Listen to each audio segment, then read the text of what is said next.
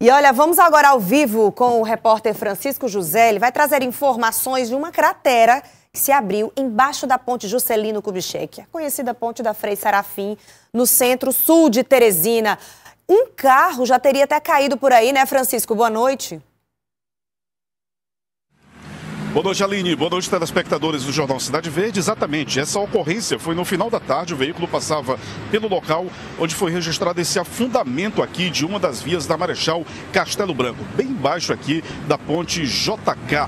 Bom, de acordo com informações de colaboradores da S-Trans, né, que faz aqui, que esteve mais cedo aqui no local para fazer o isolamento desse trecho específico.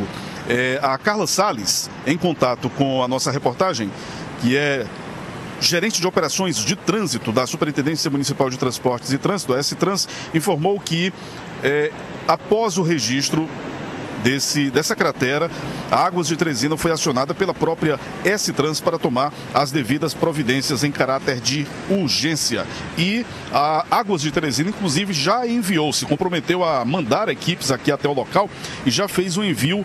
Esse, esses trabalhos ainda não começaram, mas já tem aqui operários que atuam na Águas de Teresina. A gente observa aqui, vou pedir para o Josué Melo mostrar novamente a cratera.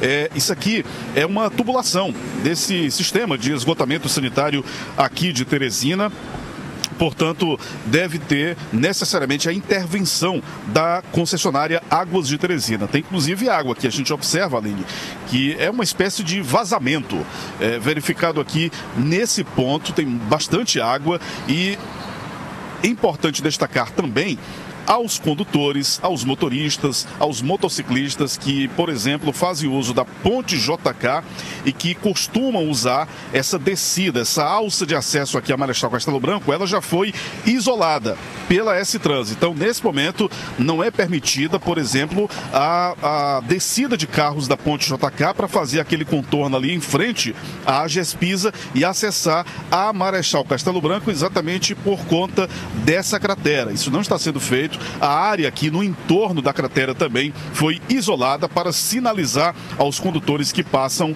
eh, aqui pela região e, evidentemente, evitar novos acidentes. Então, os operários da Águas de Teresina já foram acionados. Eu conversei agora há pouco também com a assessoria da Águas de Teresina, que informou que esses trabalhadores foram acionados, enviados até o local e essa operação deve começar já nos próximos minutos, no sentido de eh, resolver aqui esse problema verificado no final da tarde desta terça-feira, aqui desse ponto da Marechal Castelo Branco. Aline.